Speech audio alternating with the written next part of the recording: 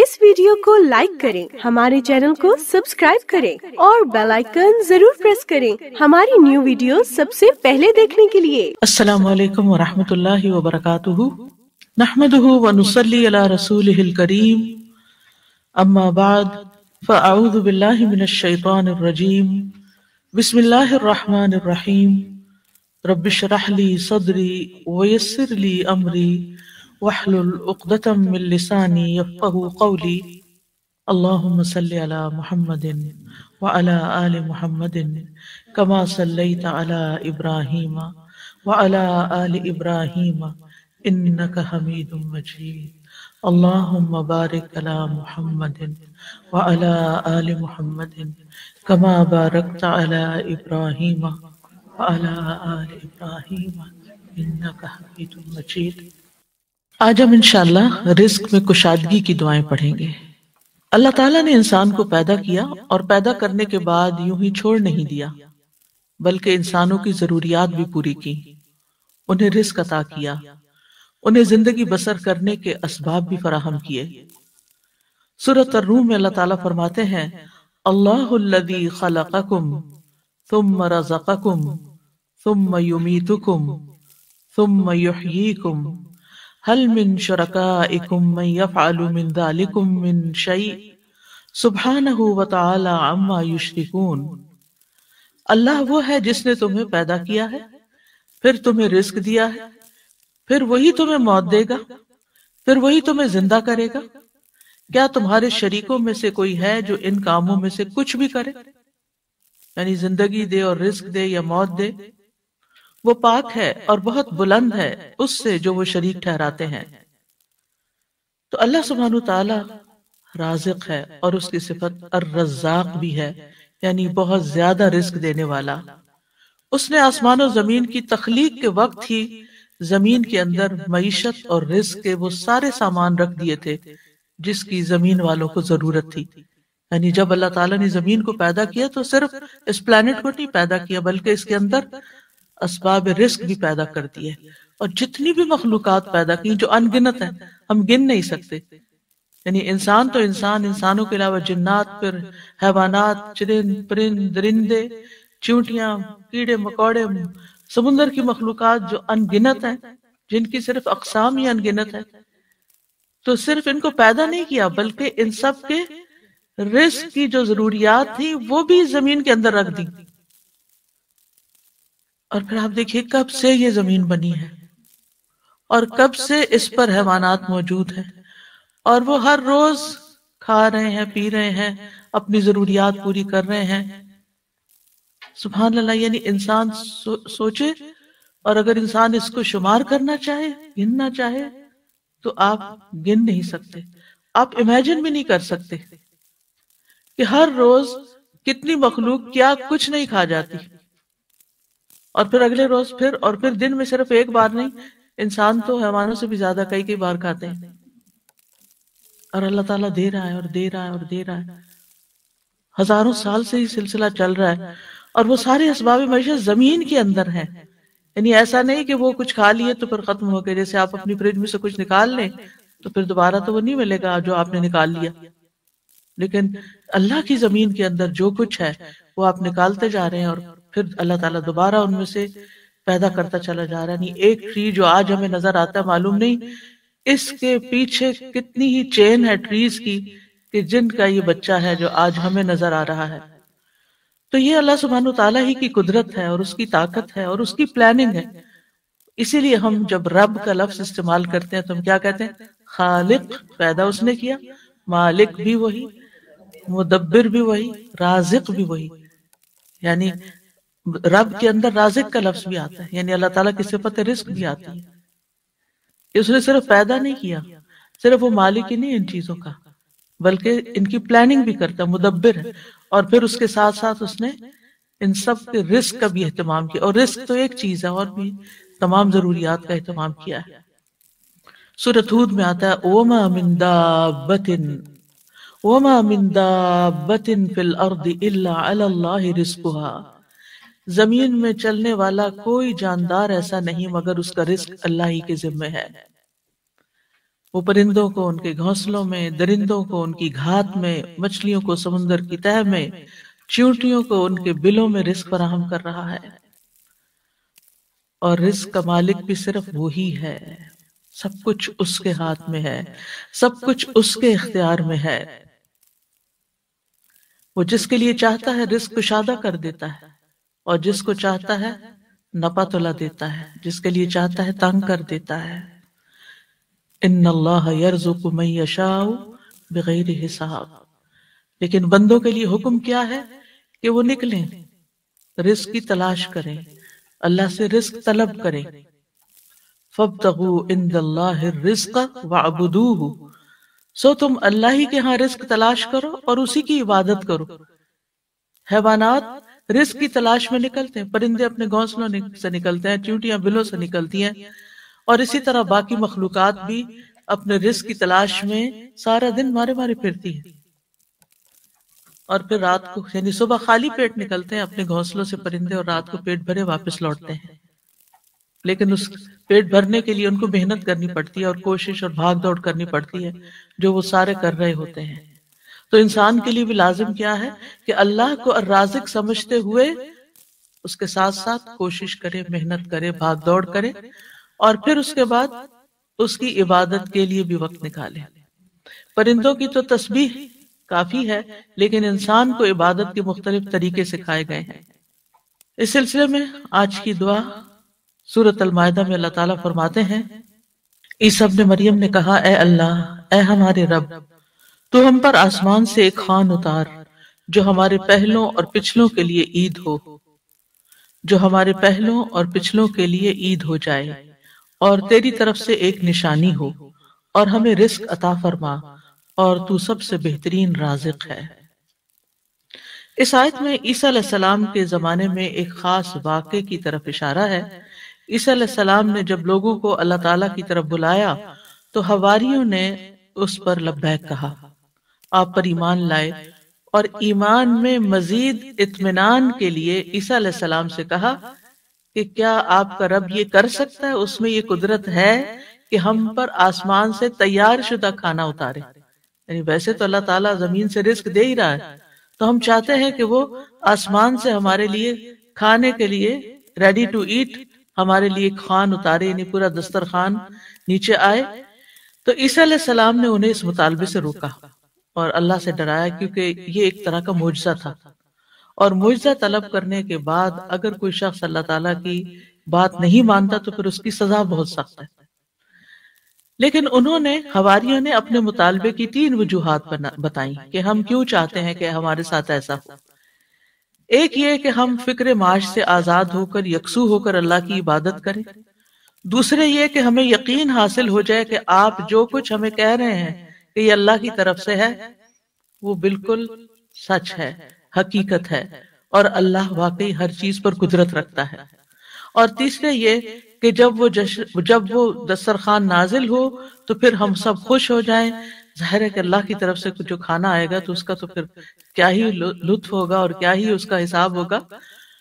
तो हम उस दिन को फिर खुशी का दिन बना लें। हमारी ईद का दिन बन जाए और फिर हम आइंदा भी उस दिन को याद रखते हुए हर साल ईद मनाया करें। जब उनका ये मुतालबा सुना तो ईसा ने नहायत आजजी के साथ अल्लाह रब्बुल इज़्ज़त से दुआ की। लोगों का ये मुतालबा अल्लाह ताला के सामने पेश कर दिया और अल्लाह ताला से दुआ की कि लोगों को गैब से रिस्क अता फरमाए, जो इनके अगलों और पिछलों के लिए एक यादगार खुशी का दिन बन जाए। और ये ऐसा मुआवजा हो कि लोग अपनी आँखों से देख लें कि किस तरह आसमान से उतरा, यानी वो ज़मीन के रिस्क से फिर मुख्तलिफ़ चीज़ हो। क्योंकि ज़मीन का रिस्क तो सब अपनी आँखों से देखते हैं जो कुछ ज़मीन पैदा करती है और जो समुन्दर से और मुख्तलिफ़ सोर्सेज से हमें रिस्क हासिल होता है। लेकिन ये जो आसमान का रिस्क है ऑब्वियसली ये ज़मीन के रिस्क से मुख्तलिफ़ होगा तो इससे हमारा ईमान बढ़ जाएगा। तो ईसा सलाम ने अर्ज़ की काल सबन मरियमा अल्लाह रबना आप देखिए दुआओं में या अल्लाह आता है या रब्बना। आता है यहाँ ईसा सलाम ने दोनों सीगे इस्तेमाल किए हैं। अल्लाह रबना यानी खबारियों का मुतालबा कबूल करके अल्लाह सुबहान तला से नहायत आजजी के साथ दुआ की कि ए अल्लाह अल्लाह ए अल्लाह, रब्बना जो हमारा पालने वाला है, जो हमारा रब है। और इससे ये भी ज़ाहिर होता है कि ईसा सलाम अपने आप को ना अल्लाह समझते थे, ना अल्लाह का बेटा और ना ही रब समझते थे। बल्कि वो अल्लाह सुबहान तला को या अल्लाह यानी अल्लाह का मतलब होता है या अल्लाह। या अल्लाह और या, या रब कह के पुकार रहे थे। तो इससे क्या ज़ाहिर होता है कि वो खुद रब नहीं थे। और ना ही वो इसके कायल थे। और ना ही वो किसी चीज़ में अपना कोई इख्तियार समझते थे। और फिर ये भी देखिए कि हवारियों ने ईसा सलाम से ये क्यों कहा कि आप दुआ करें? अगर वो उन्हीं को रब मानते होते तो उन्हीं से मांग लेते। तो उनसे जब उन्होंने ये कहा तो इससे ये पता चलता है कि ईसा सलाम के मानने वालों के जहन में कहीं दूर पार भी ये ख्याल नहीं था कि ईसा सलाम अल्लाह का कोई हिस्सा है नौजबिल्ला या कोई बेटे हैं, या किसी भी तरह उलूहियत का कोई मकाम रखते हैं। वो उनको एक नबी के तौर पर ही समझते थे। तो उन्होंने अल्लाह सुबहान तला ही की रबूबियत का इस, इस बात किया या उस पर ईमान लाए। फिर कहा कि तकून लना ईद अव्वलिना व आखिरिना। ईद का लफ्ज आद यऊद से है लौट कर आना। यानी वो खुशी जो बार बार आए हर साल पलट कर आए ये सालाना भी हो सकती है और हफ्तावार भी। मुसलमानों की दो ईदें सालाना हैं और एक हफ्तावार है। हम्म? इसके अलावा कोई और ईद साबित नहीं है जो हमने खुद से बना ली है ईदें। वो कुरान सुन्नत से साबित नहीं है। तो हम सालाना ईद तो अच्छी तरह मनाते हैं, लेकिन अफसोस ये कि जुमे का एहतमाम कम से कम होता जा रहा है। जुमे के दिन भी गुसल करना चाहिए, अच्छे साफ़ सुथरे कपड़े पहनने चाहिए, तैयार होना चाहिए, एहतमाम करना चाहिए। यानी जुमे का दिन आम दिनों की तरह नहीं होना चाहिए। यानी वो दिन हमारे लिए खास दिन है। उसे खास दिन समझकर ही उसमें सारे काम करें, चाहे वो इबादत के हों या जो दूसरे काम हों। और फिर आप देखिए कि उन्होंने कहा कि वो दिन हमारे लिए ईद का हो, ले अव्वलिना व आखिरिना। हमारी पहली फ़र्स्ट जनरेशन, यानी जो हमारे दौर के लोग हैं, वो आखिरिना और जो हमारे बाद में आएँगे। वह आयतम मिन का और तेरी तरफ़ से एक निशानी भी हो, तेरी कुदरत की अलामत हो। यानी ईसा सलाम की सच्चाई की अलामतों के वाकई अल्लाह के रसूल हैं। और उन्होंने जो कहा, वो सच कहा। और फिर वर जुकना व अंत राजिकीन दुआ भी की। और ये रिस्क के हसूल की दुआ भी है। यानी इतना हिस्सा अगर इंसान पढ़ता है वर जुकना व अंत खैर तू हमें अता कर, हमें रिस्क दे, और तू सबसे बेहतरीन रिस्क देने वाला है। और यहाँ पर हमें किसी मुशक्कत के बगैर अपने पास से रिस्क अता फरमा। अब आप देखिए कि अल्लाह सुबहान ताला बेहतरीन राजिक है। यानी किस एतबार से कि जो उसकी तरफ़ से रिस्क आता है, वो अपनी कैफियत के एतबार से और कमियत के एतबार से बेहतरीन होता है। यानी सबसे अफजल होता है। और इंसानों ने उसकी जो शक्लें बना ली हैं, प्रोसेस कर लिया उसको तो वो अपनी कैफियत के एतबार से बेहतरीन नहीं रहा क्योंकि इंसानों के लिए उस तरह फ़ायदा मंद नहीं। आपने देखा होगा कि जो चीज़ें नेचुरली उगती हैं ग्रो करती हैं और जो फ्रेश फ़ूड आप सी से लेते हैं सी फ़ूड होती है या कुछ या हम बाकी गजाओं के मुकाबले में ज़्यादा सेहतमंद गजाएँ होती खैर और राज़ी और दूसरा यह है कि इसलिए भी खैर राजिकीन कहा गया अल्लाह ताला को कि लो, लोग अगर अल्लाह ताला की नाफरमानी भी करें तो भी वो उनको अपना रिस्क देता है। वो कुफर भी करें, उसका इनकार भी करें, उससे नाराज़ भी हो, फिर भी रिस्क देता है। लेकिन बंदों में से जो किसी को रिस्क देते हैं, वो ऐसा नहीं करते। हत्या कि माँ बाप भी अगर देखते कि बच्चे बात नहीं मानते तो उनसे किनारा कश हो जाता है। आप जहाँ जॉब करते हैं, जॉब नहीं करें तो आपको कोई सैलरी नहीं देगा। इंसानों का मामला ये होता है। लेकिन अल्लाह सुबहान ताला आप इबादत करें या ना, आप नमाज़ पढ़ें या ना आप रोजा रखें या ना, वो आपको खाने को देता रहेगा तो इस दुआ से ये पता चलता है कि इंसान को इंसान जब दुआ करे तो बहुत आजजी के साथ दुआ करे और अल्लाह ताला को उसके बेहतरीन नामों के साथ पुकारे अल्लाह रब्बना, ये दोनों नाम इकट्ठे भी कर सकते हैं और इसके अलावा भी या रज्जाक या फताह हम्म? और फिर ये कि इंतहाई आजी और इनकसारी रवैये में भी होनी चाहिए कि अल्लाह हम मोहताज है तू देने वाला है। और फिर अल्लाह ताला से बेहतरीन रिस्क मांगना चाहिए। यानी तू बेहतरीन रिस्क देने वाला अल्लाह ताला की सिफत को बयान किया जा रहा है यानी हमें भी एक तरह से इनडायरेक्टली क्या कहा जा रहा है कि हमें भी बेहतरीन रिस्क अता फरमा। रिस्क क्या चीज़ है? यानी रिस्क का इतलाक किस किस चीज़ पर होता है? इब्न मंजूर लिसानुल अरब में कहते हैं रिस्क से मुराद हर वो चीज़ है जिसके साथ हर ज़िंदा मखलूक की ज़िंदगी कायम होती है। यानी जिस पर ज़िंदगी का इन्हिसार होता है। खा वो चीज़ मानवी हो या मादी हो। तो मानवी से मुराद, यानी जिसको हम छू नहीं सकते, जिसको हम जानते हैं, समझते हैं, महसूस करते हैं, लेकिन हम उस, यानी इनटेंजिबल जिसको आप कह सकते हैं।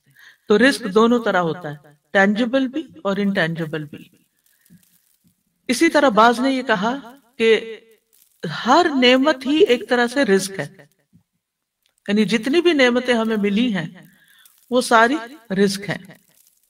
यानी सिर्फ़ माल ही रिस्क नहीं है, बल्कि रिस्क का एक वसी दरवाज़ा है। हर वो चीज़ जो अल्लाह ताला बंदों पर नेमतों की सूरत में इनाम फरमाता है। जैसे माल, औलाद, हस्बैंड, अहलो अयाल माँ बाप फिर इसी तरह सेहत, मोहब्बत, कबूलियत, ये सारी चीज़ें रिस्क कहलाती और ये अल्लाह ताला की तरफ़ से तकदीर में मुकर्र कर दी गई हैं। यानी अल्लाह ताला ने हर बंदे का रिस्क मुकर्र कर रखा है कि इसको कितना देना है। तो इंसान के लिए फिर क्या लाजिम है कि अल्लाह जब दे तो फिर इंसान शुक्र अदा करे। जैसे ऊपर मैंने ज़िक्र किया कि हिस्सी और मानवी दोनों एतबार से जो नेमतें हमें मिली हैं, वो रिस्क है। तो मोहब्बत भी एक रिस्क है। मोहब्बत भी एक रिस्क है। ठीक हज़रत आयशा कहती हैं, मैंने नबी सल्लल्लाहु अलैहि वसल्लम की अजवाज में से किसी पर रश्क नहीं किया, सिवाय खदीजा रज़ी अल्लाह के। और मैंने हज़रत खदीजा को नहीं देखा, यानी उनको जमाना नहीं पाया। वो फरमाती है कि रसूलुल्लाह सल्लल्लाहु अलैहि वसल्लम, जब बकरी जबा करते तो आप फरमाते कि इसका गोश्त खदीजा की सहेलियों को भेज दो। वो कहती है कि एक दिन मैं गुस्से में आ गई। मैंने कहा, आप हर वक्त खदीजा खदीजा करते हैं और उसकी सहेलियों तक का ख्याल रखते हैं। तो रसूल अल्लाह सल्लल्लाहु अलैहि वसल्लम ने फरमाया, इन्नी कद रुज़िक़्तु हुब्बहा। मुझे खदीजा की मोहब्बत अता की गई है। यानी अल्लाह ने मेरे दिल में उसकी मोहब्बत डाली। इंसान किसी को मरने के बाद सिर्फ़ मोहब्बत की वजह से याद रख सकता है कि जिसके साथ आपका कोई कलबी ताल्लुक हो। और ये भी अल्लाह दिलों में डालता है। कुरान मजीद में आता है इन लदीन आमन आमिल रहमान बुद्धा बेशक जो लोग ईमान लाए और उन्होंने नेक अमल किए, रहमान उनके लिए दिलों में मोहब्बत डाल देगा। आप किसी से ज़बरदस्ती मोहब्बत नहीं करा सकते। आप किसी के आगे रो पीट के, उसके साथ गुस्सा करके, उसकी मिन्नतें करके, या उसको माल दे के, या उसके साथ उसकी खुशामद करके, आप उससे कहें, आप मुझे मोहब्बत दें, आप मुझसे मोहब्बत करें। कभी भी नहीं कोई करेगा, जब तक अल्लाह दिलों में मोहब्बत न डाले। और अगर आपके लिए अल्लाह ने किसी के दिल में मोहब्बत डाल दी है तो ये अल्लाह, इस पर अल्लाह का शुक्र अदा करना चाहिए। कि ये अल्लाह ने रिस्क दिया है मुझे, क्योंकि मोहब्बत कहीं से खरीदी नहीं जा सकती। अल्लाह ताला फरमाते हैं लव अनफक्त मा अर्द जमीअन मा अल्लफ्त बैन कुलूबिहिम। अगर ज़मीन में जो कुछ है, सारे के सारा भी आप खर्च कर दे दे दे लोगों को। आप उनके दिलों में मोहब्बत नहीं डाल सकते। यानी ना ये माल से खरीदी जा सकती है, और ना ही ये किसी मुतालबे से खरीदी जा सकती है, और ना ही ये एहसान जता के और किसी को जलील करके या किसी को किसी तरह मजबूर करके मोहब्बत ली जा सकती है। ये अल्लाह की देन होती है और जिसको अल्लाह दे वही मोहब्बत हासिल करता है और इसके पीछे भागना नहीं चाहिए। भागना चाहिए अल्लाह की रजा के कामों में। अल्लाह सुबहान और ना इस बात की फ़िक्र करनी चाहिए, मेरी माँ मुझसे मोहब्बत करती है कि नहीं? क्योंकि कुछ बच्चों को सारी ज़िंदगी यही यकीन नहीं आता कि माँ मोहब्बत करती। शौहर मुझसे मोहब्बत करता है कि नहीं? सारी ज़िंदगी शक में पड़ी रहती है। हत्या के बीमार पड़ जाती है, बास खवाती रिसेंटली किसी के बारे में जो पता चला कि उनका दिमाग चल गया। सिर्फ़ इस बात पे, यानी कि हस्बैंड मुझसे वो मोहब्बत नहीं करता जो मुझे चाहिए। और इसकी वजह से मिजरी दुनिया की हर नेमत है उसके पास। लेकिन अब वो एक तरह से जहनी मरीज़ बन गई खातून। और बहुत सी औरतें, वो तो खैर एक सिवियर केस हो गया ना। लेकिन उससे निचले दर्जे पर किसी न किसी डिग्री किसी न किसी लेवल पर हर शख्स को ये शिकवा रहता है। और इससे बाहर निकलना चाहिए, क्योंकि इंसान इससे अपनी सलाहियतें खो देता है। इंसान की प्रोडक्टिविटी मारी जाती है। जब इंसान लोगों की मोहब्बत का या तो दीवाना होता है और या वो उसका फकीर बन जाता है, या उसको ये परेशानी लग जाती है कि कोई मुझसे मोहब्बत क्यों नहीं करता। क्योंकि इससे इंसान को हासिल कुछ नहीं होता इस परेशानी से। और फिर आप देखिए कि बाजुकत खातन का मसला ये भी होता है कि उनके ऊपर कुछ कंडीशंस ऐसी होती हैं हार्मोनल चेंजेस होते हैं पीरियड्स का मसला है, बच्चों की विलादत का मसला है और कई तरह की परेशानियाँ बच्चों को दूध पिला रही है कितनी फ़िज़िकल कंडीशंस कितनी बदलती जाती हैं, जिसकी वजह से अमूमन वो ज़्यादा अटेंशन सीकर्स होती हैं। तो ये जो अटेंशन सीकिंग है, ये भी एक बीमारी है। यानी इसमें भी आप, आपने अपना रिमोट कंट्रोल दूसरे के हाथ में दिया हुआ वो आपको अटेंशन दे तो आप खुश। आपके अपने पास कोई चीज़ नहीं कि जिससे आप खुश हो सके। भाई, आपके अपने पास कोई चीज़ होनी चाहिए। आप इंडिपेंडेंट हो। क्यों किसी की गुलामी में पड़े हुए हैं? इंडिपेंडेंट हो। आप आप अपने चाय के कप को एंजॉय करें। आप अपने बुक रीडिंग को एंजॉय करें। आप अपने घर के काम को एंजॉय करें। आप मुख्तलिफ़ चीज़ों के अंदर मुख्तलिफ़ एक्टिविटीज़ में अपने आप को इन्वॉल्व करके वहाँ से आप खुशी हासिल करें। अपनी खुशियाँ अपने बच्चों के अंदर मत डाल दें कि बच्चे सामने होंगे तो मैं खुश होंगी और बच्चे नहीं तो मैं खुशी नहीं। आप अपनी खुशियाँ मालो दौलत में नहीं डालें कि मेरे पास ढेर माल आएगा हर महीने तो फिर ही मैं खुश होंगी और अगर किसी महीने के ऊपर नीचे हो गया तो मेरी सारी खुशी चली गई। चीज़ों के अंदर, इंसानों के अंदर खुशियाँ नहीं ढूंढे। और सबसे बड़ी खुशी तो खुद अल्लाह के ज़िक्र में है। अल्लाह अल्लाह की याद में है, अल्लाह की इबादत में है, अल्लाह सुबहान तला के दीन में है, उस दीन के इल्म हासिल करने में है, उस इल्म को सिखाने में है उसके रास्ते में निकलने को है। क्या आपने किसी हदीस में सहाबा कराम के में से किसी के बारे में ये पढ़ा था कि वो जहनी मरीज़ हो गए थे? कोई मेंटल इलनेस थी वहाँ? कोई इमोशनल इम्बेलेंसेस थे वहाँ? कोई इन बातों पर लड़ाइयाँ थी आपस में वहाँ? हरगिज नहीं, क्योंकि वो इमोशनली स्ट्रांग थे। मैं जानती हूँ, मैं खुद एक औरत हूँ, औरत इमोशनली वीक होती है मर्द के मुकाबले में। लेकिन इसको अपनी वीकनेस ना बनने दें। कॉन्फिडेंट हो स्ट्रांग हो, अपने लिए ज़िंदगी में खुद चीज़ें तलाश करें कि जिससे, जिस काम के लिए अल्लाह ने आपको बनाया, आपकी ज़िंदगी में वो क्या मकसद होना चाहिए, वो कौन सा काम ऐसा है कि जिसको करके आपको खुशी मिलती, उसको पकड़ लें। अगर वो जायज़ है और अल्लाह की हदूद के अंदर है और अल्लाह ताला की नाराज़गी का नहीं। वो क्योंकि अल्लाह ने हर इंसान यानी मैं आपके लिए सजेस्ट नहीं कर सकती। हर इंसान को अल्लाह ताला ने मुख्तलिफ़ बनाया है। और हर इंसान की किसी की जहनी जरूरियात और तरह की होती है किसी की और तरह सोच होती है। कोई मैथमेटिक्स में बहुत अच्छा है कोई शायरी में बहुत अच्छा है कोई लिटरेचर में बहुत अच्छा कोई किसी चीज़ में कोई किसी चीज़ में आप देखे आपकी स्ट्रेंथ क्या है? अल्लाह ने आपको क्या दे के भेजा है? तो उस चीज़ को तलाश कर अपने स्किल्स को डेवलप करें, अपने आप को स्ट्रांग करें और अपनी ज़िंदगी को बेहतरीन कामों में इस्तेमाल करें, क्योंकि इस पर इंसार है आखिरत के दर्जे का। आज जाया कर दिया ना अपना वक्त और अपनी सलाहियत और अपनी ज़िंदगी, क्योंकि बाज लोग तो फिर बीमार पड़ के कुछ करने के काबिल नहीं रहते, और बाज लोग तो फिर न किसी इबादत के लायक और अपने आप को भी नहीं संभाल सकते। फिर वो ज़िंदगी क्या ज़िंदगी है? फिर ऐसा इंसान यानी आप देखें कि एक शख्स जो जेनी मरीज़ बन जाए, अल्लाह ताला हर एक को बचाए इससे, उसकी कोई ज़िंदगी ज़िंदगी है वो कुछ भी करने के काबिल नहीं। वो क्या ज़िंदगी जीता है? इसीलिए हमें दुआ सिखाई गई कि अल्लाह हमें अर्जल उम्र से बचा। यानी बुढ़ापे में भी जाके हमारा दिमाग ना खराब हो।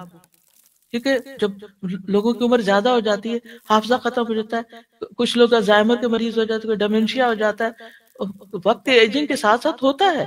लेकिन कुछ लोग आप देखें, माशाल्लाह, कल किसी ने मुझे किसी आलिम की पिक्चर भेजी कि ये पिछले 51 ईयर से इस मस्जिद में एक सेम मस्जिद, हर साल पूरा कुरान सुना रहे हैं। और उस उस पिक्चर में भी वो तरावी पढ़ा रहे थे कि इस साल भी वो 81 ईयर्स के हैं और पूरा कुरान सुनाएँगे। वो भी तो इंसान है। उनको अल्लाह ने इतना स्ट्रांग हाफसा क्यों दिया? इस कुरान की बरकत।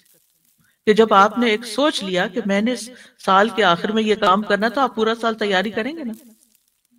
तो मैं सोच रही थी कि कहा वो, कहा हम हर साल कुरान सुनाना हाफजे से और इतना रेगुलरली कंसिस्टेंसी के साथ एक काम करते चले जाना, करते चले जाना, ये है ना काबिल रश्क जिंदगियाँ।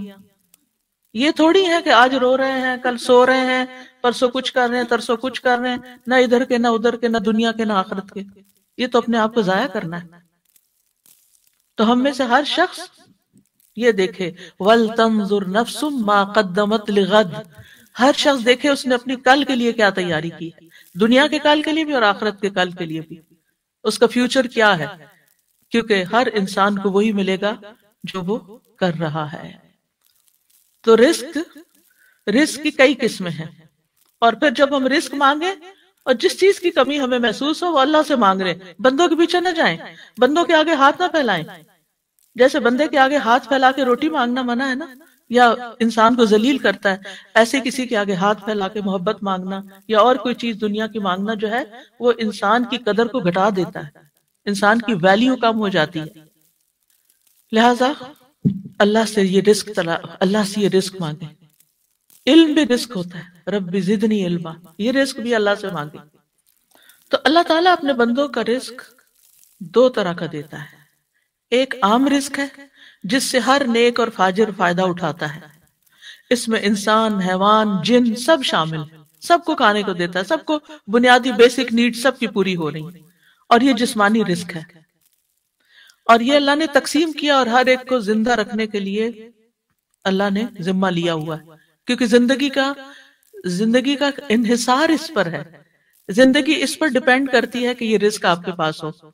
दूसरा है खास रिस्क। यानी रिस्क की दूसरी किस्म खास है। ये अल्लाह ताला अपने अंबिया और अपने रसूलों के हाथ पर, अपने बंदों में से जिसे चाहता है ये रिस्क अता करता है। और ये ईमान और तोहीद का रिस्क है। वो अपने रसूलों के ज़रिए जिसे चाहता है देता है। ये अल्लाह ताला सिर्फ़ उसको अता करता है जो इसका हकदार है जो इसका तलबगार है जो इस पे शुक्रगुजार है। क्योंकि अगर आप इसकी परवाह नहीं करते कि आप हिदायत के रस्ते पे या गुमराही पे तो, अल्लाह को भी परवाह नहीं। तो जो इसको हक, जो इसको डिजर्व करता है और जो इस पे फिर शुक्र अदा करता है कि अल्हम्दुलिल्लाह हदानी लिहाजा। अल्लाह ने मुझे नेमत इस्लाम दी मैं शुक्र गुजार हूँ इस पर। तो अल्लाह ताला तो बड़े फजल वाला है, बहुत ज़्यादा एहसान करने वाला है। और जैसे दुनियावी रिस्क के लिए असबाब इख्तियार करने पड़ते हैं, ऐसे ही इस रिस्क के लिए, ईमान और हिदायत के रिस्क के लिए भी असबाब इख्तियार करने पड़ते हैं। आपको कोशिश करना पड़ती है, आपको निकलना पड़ता है कि आप, आपको ये रिस्क भी मिले। यानी ये नहीं कि दुनिया के रिस्क के लिए तो हम कोशिश करें और जब दीन का रिस्क लेना हो तो हम कहें, अल्लाह अल्लाह तू बस हिदायत दे दे, हम घर में बैठे ऐसे नहीं, इसके लिए भी मेहनत करनी पड़ती। और हमारी इस्लामी तारीख, इस्लामिक हिस्ट्री हमारे सामने है कि किस तरह उलमा ने एक एक हदीस के लिए महीनों का सफ़र किया। एक हदीस जानने के लिए। और अपनी जिंदगियाँ खपा दी। पैदल भी चले और सवारियों पर भी और लुटे भी और पिटे भी और गर्मी और सर्दी बर्दाश्त की और हर तरह की तकलीफ़ उठाई इस इल्म को हासिल करने के लिए। उसके मुकाबले में हमने तो कुछ भी एफर्ट नहीं लगाई, कोई कुर्बानी नहीं दी। तो ईमान में इजाफे के लिए भी आपको घर निकलना पड़ता है, कुछ काम करने पड़ते हैं। उसके लिए भी इज्तमाहीत चाहिए होती है, इल्म में इजाफे के लिए भी। इसी तरह अगर आप चाहते हैं कि आपकी कदर, इज़्ज़त और मोहब्बत में इजाफा तो उसके लिए भी आपको कुर्बानियाँ देनी पड़ती। उसके लिए आपको बंदों की खिदमत करनी पड़ती। इज़्ज़त लेना चाहते हैं, इज़्ज़त देनी पड़ती है। मोहब्बत लेना चाहते हैं, मोहब्बत देनी पड़ती है। यानी इस दुनिया में अल्लाह ताला ने एक उसूल बनाया है गिव एंड टेक पहले गिव देने वाले बनो, जब आपको मिलेगा। ये इंसानी कोशिशों की तरफ़। इंसानी कोशिशों का हिस्सा है और बाकी उसके साथ साथ दुआ और अल्लाह पर अच्छी उम्मीद। और याद रखिए सबसे बेहतरीन रिस्क तो जन्नत है। सबसे बेहतरीन नेमत जन्नत है। जो सबसे मुकम्मल सबसे अफजल सबसे मुआज़ सबसे बुलंद सबसे ज़्यादा कायम रहने वाला ऐसा रिस्क जो कभी खत्म नहीं होगा। जिसकी राहतें और लज्जतें और नेमतें कभी भी खत्म ना होंगी। और ये रिस्क मोमिनों के साथ खास है। ये सिर्फ़ ईमान वालों के लिए है। अल्लाह ताला फरमाते हैं, वमन युमिन बिल्लाहि व यअमल सालिहन, युदखिलहु जन्नातिन तजरी मिन तहतिहल अनहार खालिदीन फीहा अबदा, कद अहसन अल्लाहु लहु रिज़्क़ा। और जो अल्लाह पर ईमान लाए और नेक अमल करे वो उसे ऐसे बागों में दाखिल करेगा जिनके नीचे से नहरें बहती हैं। उनमें वो हमेशा रहने वाले हैं। हमेशा हमेशा, बिलाशुबा अल्लाह ने उसके लिए अच्छा रिस्क बनाया है। फिर ये बात याद रखिए कि रिस्क का मालिक भी सिर्फ़ अल्लाह है। रिस्क की कुंजियाँ उसके पास है। कुरान मजीद में आता है हल मिन यरज़ुकुकुम मिनस समाई ला इलाहा इल्ला हुवा फअन्ना तुफकून। लोगो, अपने आप पर अल्लाह के एहसान को याद रखो। क्या अल्लाह के सिवा कोई और खालिक भी है, जो तुम्हें आसमानों और ज़मीन से रिस्क दे? कोई और भी है? नो। याद रखो, उसके सिवा कोई इलाह नहीं। फिर तुम कहाँ से धोखा खा जाते हो? फिर इसी तरह रिस्क में जो कमी बेशी होती है अप एंड डाउन होता है। मसलन, कोई वक्त होता है, आपके पास बहुत होता है, फिर एक वक्त होता है कि वो सुकड़ने लगता है, कम होने लगता है। एक वक्त होता है, आप अपनी जवानी की पीक पर होते हैं, खूब मेहनत काम करते हैं, बहुत कुछ होता है, फिर आहिस्ता आहिस्ता आहिस्ता कम होता जाता है, फिर आप रिटायर हो जाते हैं, फिर आप बूढ़े हो जाते हैं, फिर आप दूसरों के मोहताज हो जाते हैं। ये ज़िंदगी में आमतौर पर ऊपर जाना, नीचे आना, ये सब देखते ही हैं। ज़िंदगी के अप्स एंड डाउन जिनको कहते हैं आप। लेकिन बात यह है कि आम दिनों में भी रिस्क, चाहे जिस्मानी रिस्क हो, माल की शक्ल में हो, या मोहब्बत हो, इसमें अप्स एंड डाउन होते हैं। रिलेशन में भी अप्स एंड डाउन होते हैं। यानी इंसानों के साथ जो मोहब्बत होती है, हर वक्त एक जैसी नहीं हो सकती। हर वक्त पीक पर नहीं हो सकती। क्यों? इसलिए कि इंसान उसको बर्दाश्त नहीं कर सकता। अल्लाह ने हमारे लिए जज्बात बनाए। बड़े खूबसूरत है ये जज्बात। लेकिन हर वक्त जज्बात में रहना नुकसानदेह है। हर वक्त जज्बाती ज़िंदगी गुजारना नुकसानदेह है। फिर इसी तरह कुरान मजीद में आता है अल्लाह यशा व यकदिर। अल्लाह रिस्क फराख कर देता है जिसके लिए चाहता है और तंग करता है। वफरिहू बिल हयात दुनिया। और वो दुनिया की ज़िंदगी पे खुश हो गए। वमल हयात दुनिया फिल आखिरत इल्ला मता। हालाँकि दुनिया की ज़िंदगी आखिरत के मुकाबले में थोड़े सामान के सिवा कुछ नहीं। क्या अल्लाह ताला के पास कमी हो जाती कि वो हमारा रिस्क तंग कर देता? नहीं, ऐसा नहीं है। लहू मकाली दुस्समावात वल अर्द। उसी के पास आसमानों ज़मीन की कुंजियाँ हैं। जब सुतुर रिस्क करे मैशा फिर उसकी अपनी हिकमत है।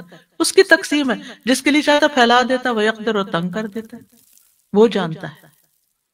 फैला देता है, देखता है, आजमाता है, कितना शुक्र अदा करता है। लिया बलुआनी अशकुर मकफुर अल्लाह ने मुझे ये सब कुछ दिया कि मुझे आजमा रहा है। मैं शुक्र करता हूँ या नाशुक्री करता हूँ। और फिर तंग कर देता है कि सब्र करता है या वावेला करता है या हराम तरीके इख्तियार करने लगता है। वो भी आजमाइश हो जाती है। बहरहाल, उसके पास तो खजाने हैं। वलिल्ला ही खजाइन समावाति वलर अल्लाह के पास आसमान और ज़मीन के खजाने हैं। और उनमें से वो जिसको चाहे खूब नवाज़ सकता है। और जितना चाहे दे, उसके खजानों में कोई कमी नहीं आती। रसूल अल्लाह सल्लल्लाहु अलैहि वसल्लम ने फरमाया, अल्लाह का दाया हाथ भरा हुआ और दिन रात की फयाजी से उसमें कोई कमी वाक़ नहीं होती। क्या तुम देखते नहीं कि जब से उसने आसमान ज़मीन पैदा किए, तब से उसने कितनी फयाजी की है? दे रहा दे रहा दे रहा लेकिन उसके दाएँ हाथ में जो कुछ है, उसमें कोई कमी वाकई नहीं हुई। यानी अता करने से उसके खजानों में कमी नहीं आती। तो जब हम दुआ करें ना तो ये ये मैं आपको नॉलेज क्यों दे रही हूँ? ताकि जब आप अल्लाह से रिस्क मांगे तो आपके अल्लाह ताला आपके पास तो ढेरों खजाने और देने से कमी भी नहीं होती। एक तो ना कि आप किसी से मांगते वो कहते नहीं, मैं नहीं दे सकता, मेरे तो अपने लिए काफ़ी नहीं। इंसान इंसानों के साथ तो ऐसा मामला करते हैं, क्योंकि उनके पास होता नहीं है। वो खुद मोहताज है। लेकिन अल्लाह तो मोहताज नहीं ना किसी का। वो तो बादशाह है। और उसके पास तो खजाने हैं और वो सिर्फ़ कौन कहेगा और आपके पास ढेर लग जाएँगे। तो ये यकीन रखते हुए कि अल्लाह सुबहान ताला के पास बहुत कुछ है। अल्लाह ताला फरमाते हैं, ए मेरे बंदो, अगर तुम्हारे अव्वलीन आखिरीन और जिन्नो इंस एक साफ़ चटियल मैदान में खड़े होकर मुझसे मांगे, सारे जमा हो जाओ, सब मांगे और मैं हर एक को जो वो मुझसे मांगे, वो अता कर दूँ तो भी मेरे खजानों में कोई कमी वाकई नहीं होती। मगर इतनी जितनी समुद्र में सुई डालकर निकालने से पानी में कमी होती। अल्लाह सुबहान तला के खजाने आसमानों में भी है और ज़मीन में भी है। वफिस समाए रिस्क ममातू अदून और फिर ज़मीन पर भी बेशुमार रिसोर्सेज हैं। इंसान को चाहिए कि इंसान आगे बढ़े और कोशिश करे। हाथुम अलसम से पूछा गया, मैं नहीं ना ताकुल। तुम कहाँ से खाते हो? कहा मैंने दिल्ला, अल्लाह से, अल्लाह के पास से? कहा गया, क्या अल्लाह ताला आसमान से तुम्हारे लिए दिनार और दिरहम नाजिल फरमाएँगे? उन्होंने कहा, क्या अल्लाह सिर्फ़ आसमान में है? यानी उसके खजाने सिर्फ़ आसमान में है? ये ज़मीन भी उसी की है और ये आसमान भी उसी का है। अगर वो मेरा रिस्क आसमान से ना देगा तो ज़मीन से चलाकर मेरे पास ले आएगा यानी वो कहीं से भी दे सकता है। सारी मखलूक को दिखते, कमज़ोर से कमज़ोर तरीन छोटी से छोटी चीज़ को भी वो रिस्क देता है। हमें जिनका मुँह भी नज़र नहीं आता। वो उनकी भी जरूरियात पूरी करता है। और इब्ने कसीर कहते हैं कि ये मशहूर है कि कब्बे के बच्चे जब निकलते हैं तो उनके परों पर बाल सफ़ेद होते हैं। ये देखकर उनको बच्चों से नफरत होती है। और वो भाग जाते हैं। कुछ दिनों के बाद परों की रंगत स्याह हो जाती है, फिर उनके माँ बाप वापस आते हैं और उन्हें दाना वगैरह खिलाते हैं। अल्लाह आलम, इब्ने कसीर की तफसीर में किसी ने तजर्बा किया होगा। इब्तदाई अयाम में जबकि माँ बाप उन बच्चों से मुतनफर होकर भाग जाते हैं और पास भी नहीं आता, अल्लाह ताला छोटे छोटे मच्छर उनके पास भेज देता है, वही उनकी किताब बन जाते हैं। कहाँ से वो देता है? यानी इतने छोटे, आप देखें कि अंडा ही कितना छोटा होता है और उसमें बच्चा कितना छोटा होता है और किस तरह अल्लाह अल्लाह ताला उनको भेज देता जाओ उनकी ज़रूरत पूरी करो। तो जो इन मच्छरों को देता है, जो इन परिंदों को देता है, जिनके माँ बाप छोड़ जाते हैं या मर जाते हैं, वो हमें नहीं दे सकता। वो हमें ज़रूर दे सकता है। कभी मायूस ना हो। मायूसी कुफर है। क्योंकि लोगों के पास जब रिस्क तंग होता है, नहीं मिलता नहीं मिलता तो फिर बाजू का तो मायूसी की तरफ़ चले जाते हैं। अल्लाह से हमेशा अच्छी उम्मीद रखें कि अल्लाह ने आज तक खिलाया, अल्लाह ने आज तक दिया, आगे भी वही देगा। और वो नाफरमानों को भी देता है। हज़रत इब्राहिम सलाम ने जब दुआ मांगी थी कि अल्लाह इस शहर को अमन वाला बना दे और इसके रहने वालों को फलों से रिस्क दे, जो इनमें से अल्लाह और योम आखिरत पर ईमान लाए तो उन्होंने क्या कहा था? जिसने कुफर किया, उसे भी मैं थोड़ा सा फ़ायदा दूँगा। अच्छा दुनिया में जब हम देखते हैं ना कि नॉन बिलीवर्स के पास बहुत कुछ है तो हम कहते हैं इनके पास इतना कुछ है, इनको इतना ज़्यादा क्यों दिया? अल्लाह के नज़दीक वो मच्छर के पर बराबर भी, वो कुछ भी नहीं है जो अल्लाह के पास है उसके मुकाबले। तो एक तो कभी ये नहीं सोचना चाहिए कि ये शख्स नमाज़ भी नहीं पढ़ता, ये रोजा नहीं रखता, ये फुला नहीं करता, और इसको फिर भी अल्लाह ने इतना ज़्यादा दिया वो ज़्यादा नहीं है। वो आपकी छोटी निगाहें उनको ज़्यादा देख रही हैं। जो अल्लाह ने आपको इस इबादत के बदले में देना है अपने पास, वो तो कहीं ज़्यादा है। उसके सामने तो ये सारी दुनिया का माल भी मच्छर के पर से ज़्यादा नहीं है। बहुत ही हकीर है। तो दुनिया में अल्लाह ताला किसी को जो देता है, वो बहुत थोड़ा है। बनस्बत उसके जो अल्लाह के पसंदीदा बंदों को आगे मिलने वाला है। शैतान भी अल्लाह से अपना रिस्क माँगता है। इबलीस ने कहा, मेरे रब, तूने अपनी सारी मखलूक का रिस्क वाजे कर दिया, मेरा रिस्क कहाँ है? अल्लाह ताला ने फरमाया, हर वो चीज़ जिसपे मेरा नाम न लिया जाए। वो बंदों के साथ फिर शामिल हो जाता है। मोमिन बंदों को अल्लाह ताला दुनिया में भी देता है और आखिरत में भी देता है। और ये उनके लिए बहुत एजाज की बात है। और आखिरत के रिस्क को रिस्क हसना कहा गया। वल्लदीन हाजरू फ़ी सबीलिल्लाहि थुम्मा कुतिलू व मातू, औ मातू, लयरजुकन्नहुमुल्लाहु रिज़्क़न हसना। व इन्नल्लाह लहु खैरुर राज़िकीन और जिन लोगों ने अल्लाह के रास्ते में वतन छोड़ा फिर कत्ल कर दिए गए या मर गए। यकीनन अल्लाह उन्हें ज़रूर रिस्क देगा। अच्छा अच्छा रिस्क। दुनिया में रहे, हिजरत करके कहीं गए, वहाँ भी मिल जाएगा और अगर मर के अल्लाह के पास चले गए, शहीद हो गए तो जन्नत में भी रिस्क है उनके लिए। बेशक अल्लाह ही यकीनन सब रिस्क देने वालों से बेहतरीन है। रिस्क के मामले में बंदों की ज़िम्मेदारी क्या है? नंबर एक, अल्लाह पर भरोसा करें, तवक्कुल करें। रसूल अल्लाह सल्लल्लाहु अलैहि वसल्लम ने फरमाया, अगर तुम अल्लाह पर इस तरह तवक्कुल करो जिस तरह हक है तो वो तुम्हें इस तरह से रोजी दे जैसे वो परिंदों को देता है। सुबह को वो भूखे उठते हैं और शाम को पेट भरे हुए आते हैं। अल्लाह सुबहान ताला तो माँ के पेट में भी रिस्क देता है। जब माँ खुद भी नहीं खिला सकती बच्चे को, उसने वहाँ भी इंतज़ाम किया। पैदा होते ही उसके सीने में दूध उतार दिया। अल्लाह ने रिस्क का एहतमाम किया और फिर जो जो इंसान बड़ा होता जाता है, जरूरियात मुख्तलिफ़ होती जाती उसके मुताबिक उसको रिस्क मिलता चला जाता है। अबू जर गफारी कहते हैं, नबी सल्लल्लाहु अलैहि वसल्लम अपने रब तबारक व से रिवायत करते हैं। अल्लाह ताला फरमाता है, ए मेरे बंदो, तुम सब गुमराह हो, सिवाय उसके जिसे मैं हिदायत दूँ। बस तुम मुझसे हिदायत मांगो, क्योंकि ये भी रिस्क है ना। मैं तुम्हें हिदायत दूँगा। ए मेरे बंदो, तुम सब भूखे हो, सिवाय उसके जिसे मैं खिलाऊं। तुम मुझसे खाना मांगो मैं तुम्हें खिलाऊँगा। ऐ मेरे बंदो तुम सब बराहना हो, सिवाय उसके जैसे मैं लिबास दू। तुम मुझसे लिबास मांगो, मैं तुम्हें लिबास पहनाऊँगा। यानी, ये बेसिक नीड्स है इंसान की, जिनमें नंबर वन हिदायत है और फिर उसके बाद खाना और कपड़ा। ये इंसान की बेसिक नीड्स में से है। लिहाजा, इन नीड्स के लिए भी इंसान को अल्लाह सुबहान तला की तरफ़ रुजू करना चाहिए। और जब इंसान अल्लाह से मांग कर कोशिश करता है तो फिर उसको इत्मीनान भी हो जाता है, जितना भी अल्लाह ताला देता है। और उस इत्मीनान को कनात कहते हैं कि इंसान अल्लाह के दिए पर राज़ी होता है। और इस कनात से इत्मीनान नसीब होता है फिर। यानी जब इंसान के अंदर कनात होती है कि जो अल्लाह ने मुझे दिया, मैं राज़ी हूँ, उस पर मैं खुश हूँ, जितना भी मेरे पास है। क्योंकि इंसान अपने से कम वालों को देखता है ना तो खुश होता है। और खुशी का मैार भी यही है इंसान अगर अपने सुपर वाले को देखेगा तो कभी खुश नहीं होगा। लेकिन मुश्किल यह है कि इंसान सब कुछ भी लेके खुश क्यों नहीं आज? क्योंकि इंसान सिर्फ़ ज़रूरत का नहीं चाहता। ज़रूरत हो, पूरी हो जाती है तो राहत चाहता है कि मुझे सुख, यानी कि कंफर्टेबल लाइफ मिले। जब कंफर्टेबल लाइफ मिल जाती है तो फिर ऐशो इशरत चाहता है कि मुझे लग्जूरियस लाइफ मिले। लिहाजा उसकी तो फिर कोई हद ही नहीं है ना। तो इंसान कभी भी मुतमिन नहीं होता।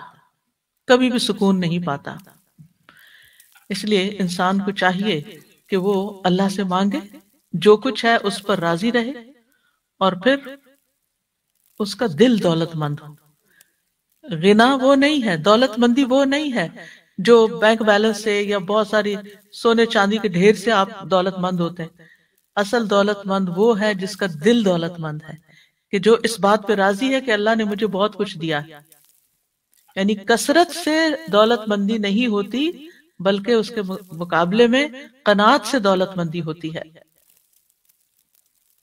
हकीकत यह है कि दुनिया की ज़िंदगी में जितनी भी चीज़ें हैं, या तो ये इंसान को अपने कंट्रोल में कर लेती है, या इंसान इनको अपने इस्तेमाल में ले आता है। जब ज़रूरत का होता है तो सब चीज़ें इस्तेमाल हो रही होती हैं। और जब ज़्यादा हो जाता है तो वो इंसान के ऊपर बोझ बन जाता है कि उसको संभालो, रखो, करो, उसकी हिफाजत करो। वो उसी की पूजा में फिर लगा रहता है इंसान। और अपने आला मकसद ज़िंदगी को भूल जाता है कि वो दुनिया में सिर्फ़ माल असबाब इकट्ठा करके उसकी खिदमत करने नहीं आया, बल्कि वो अल्लाह की इबादत के लिए आया तो इसलिए बहुत ज़रूरी है कि इंसान हिर्स से बचे, क्योंकि हिर्स का नुकसान है। रसूल अल्लाह सल्लल्लाहु अलैहि वसल्लम ने फरमाया, दो भूखे भेड़िए अगर बकरियों के रेवड़ में छोड़ दिए जाएँ तो इतना नुकसान नहीं देते जितना किसी इंसान का माल के लिए हरीस हो जाना, लालची हो जाना। और वो क्या होता है कि इंसान जो मिला है, उस पर राज़ी नहीं, बस उससे ज़्यादा हासिल करने की कोशिश में, और ज़्यादा और ज़्यादा। हत्या के मर ही जाता है, दुनिया से ही चला जाता है इंसान। और अल्लाह के पास दिखाने के लिए कुछ नहीं होता उसके पास। ना कोई इबादत, ना कोई खिदमत, ना कोई कुछ। तो इसलिए इंसान को हिर्स से और लालच से बचना चाहिए। उसके अंदर गिना होना चाहिए, शुक्रगुजारी होनी चाहिए, और ये शुक्रगुजारी ही इंसान की सादत की अलामत होती है। खुशकिस्मत तरीन इंसान वो है, कामयाब तरीन इंसान वो है कि जिसके पास ज़रूरत का है और वो उस पर राज़ी भी है। हदीस में आता है, उस शख्स ने फलाह पाई जिसने इतात की और उसको बकदर ज़रूरत रिस्क मिल गया। और अल्लाह ने उसको जो कुछ दिया, उस पर उसको कनात की तोफीक मिल गई। वो खुश है उस पर, जितना है उसके पास। तो गोया दुनिया में भी कामयाबी का राज ज़्यादा होने में नहीं है कि ज़्यादा हो, बल्कि कनात में है। क्योंकि चाहत की तो कोई हद ही नहीं ना। इंसान की चाहत तो लामतना ही है अनलिमिटेड है। जितना उसको मिल जाएगा, वो कहेगा, इससे और हो, इससे और हो। इंसान का पेट तो कभी भरने वाला नहीं। इसलिए इंसान अपनी सारी कोशिशों का मरकज सिर्फ़ दुनिया कमाने में ना लगा दे, बल्कि अपनी आखिरत के लिए भी फ़िक्र करे और सिर्फ़ जिस्मानी ज़िंदगी नहीं, रूहानी ज़िंदगी भी गुजारे। अपनी रूह का हक भी अदा करे, इंसानों का हक भी देने वाला हो। मतलब ज़रूरत का सामान वो होता है कि जिसमें इंसान की कोई ज़रूरत अटके ना। यानी उसके पास इतना हो कि अपनी बेसिक सारी नीड्स जो है, वो किसी की मदद के बगैर खुद पूरी कर सके। और उसके लिए इंसान मेहनत करे, कोशिश करे। तो बहरहाल रिस्क का मालिक अल्लाह है और इंसानों के पास कुछ नहीं। अगर कोई ये समझता है कि कोई इंसान उसके रिस्क का मालिक और वो उसका रिस्क रोक देगा तो वो गलत फहमी का शिकार है। इसलिए इंसान को रिस्क के मामले में अल्लाह ताला से दुआ करनी चाहिए। कोशिश और मेहनत करनी चाहिए। जो मिला है उस पर राज़ी होना चाहिए। मखलूक की तरफ़ नहीं देखना चाहिए कि उनके पास क्या है वो मुझे क्यों नहीं मिलता। और हसद नहीं करना चाहिए किसी से। और जब मांगे तो पूरे यकीन के साथ मांगे। और जब इंसान अल्लाह का तकवा अख्तियार करता है तो अल्लाह उसको वहाँ से रिस्क देता है जहाँ से उसने सोचा भी नहीं होता। वह यरजुकहू मिन यतवक्कल अलल्लाह फहुवा हस्बु वो उसे वहाँ से रिस्क देगा जहाँ से वो गुमान नहीं करता। जो अल्लाह पे भरोसा करे, वो उसको काफ़ी हो जाएगा। इन अल्लाह बालिग अमरी शैइन कदरा। बेशक अल्लाह अपना काम पूरा करने वाला है। यकीनन अल्लाह ने हर चीज़ के लिए एक वक्त, एक अंदाज़ा मुकर कर रखा है। तो बहरहाल, हम में से हर एक का रिस्क मुकर भी है। माँ के पेट में बच्चे का रिस्क लिखा जाता है। और जो मुकद्दर में है, वो रिस्क मिलेगा। बस तरीके हलाल इख्तियार करें। उसी चीज़ को हराम से नहीं। यानी मसलन एक चीज़ को पाने के लिए दो दरवाजे जाते हैं। और आपको किसी एक का इंतखाब करना है और उसमें दाखिल होकर वहाँ तक पहुँचना यानी जाते दोनों डोर जो है, कॉरिडोर, एक जगह पे जाके मिलते हैं। अब आप दाएँ तरफ़ से जाते हैं या बाएँ, ये आपकी चॉइस है। आप हलाल तरीका अख्तियार करते हैं या हराम, ये आपकी चॉइस है। मेहनत तो दोनों में करनी पड़ती है। हराम में भी मेहनत करनी पड़ती है और हलाल के लिए भी मेहनत करनी पड़ती है।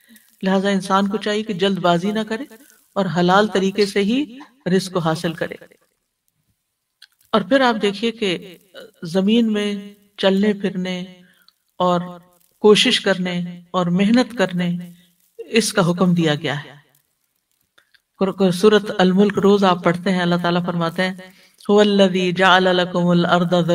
फमशू फ़ी मनाकिबिहा वकुलू मिन रिज़्क़िही व इलैहि नुशूर। वही है जिसने तुम्हारे लिए ज़मीन को ताबे कर दिया। सो उसके कंधों पे चलो, निकलो, काम करो और उसके दिए हुए से खाओ और उसी की तरफ़ दोबारा उठ के जाना यानी मरने को ना भूलो, आखरत की तैयारी ना भूलो। यानी दुनिया में लग के अपनी आखरत को ना भूलो। अंबिया भी रिस्क की तलाश में जाते थे। इस्माइल की शादी के बाद इब्राहिम अपने मक्का में छोड़े हुए खानदान को देखने के लिए आए। तो इस्माइल घर पर नहीं थे। जब कुछ दिनों के बाद तशरीफ़ लाए तो उस मरतबा भी इस्माइल सलाम घर नहीं थे।